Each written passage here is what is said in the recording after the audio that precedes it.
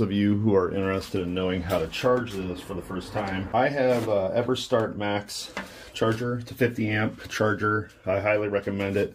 It comes with a lithium setting or a lead acid setting.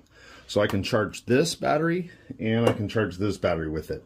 It has multiple choices. You can do an engine start if you're using this on your car. It'll give you the max 50 amp engine start voltage.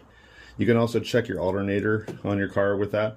And, and it all does this automatically when you're going to charge this. You don't have to worry about these buttons when you go to charge these. But what you're going to do, if, if the LI is off on this, that means it's for sealed lead acid. And if you hit LI, that means lithium. So you're going to clamp this to your battery post, red to red and black to black. And it's to